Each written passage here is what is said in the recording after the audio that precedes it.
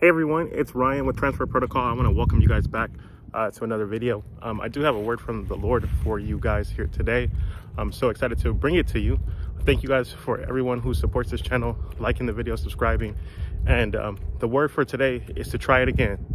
Um, as I was walking over here, um, the Lord began to deal with me on certain things that he wanted me to share in this particular video. And uh, as we're walking here, I have my dog with me and uh, this little thing got caught up um, in his foot. And um, this is like the second time that uh, one of those little thorny things has got caught up in uh, his foot. So it kind of altered um, what I believe uh, God was trying to share. Um, actually, it just expounded on it, not not altered it in a different way, but uh, intensified what I wanted to share with you guys today. And let's try it again. Um, some of you have gotten instructions from the Lord about a ministry, a business, um, an investment that you should be making uh, right now.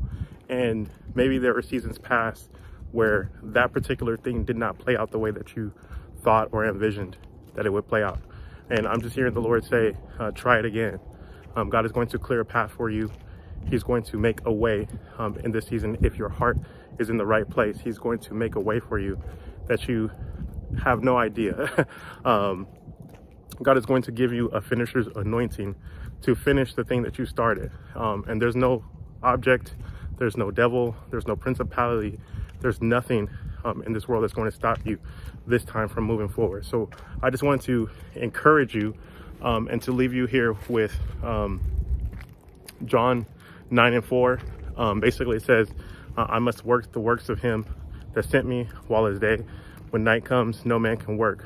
Um, there's an urgency uh, going on right now in the spirit realm that whatever God is trying to release and birth through your life, um, it's time. It's time to get up. It's time to walk uh, with authority. It's time to walk in purpose. It's time to live the divine life that God has created for you. And I'm believing for you. And I'm believing with you right now. Um, if you're that person who um, you put things down, you put things aside, uh, you're unsure if it was this is the time uh, to move forward with that thing that God has put in your spirit, I'm telling you right now, right now is the time. Move forward. God is going to clear a path. He's going to make a way for you. So if you receive this word, uh, go ahead and write amen in the chat. And I will see you guys on the next video. Thank you guys for subscribing and tuning in. See you guys tomorrow.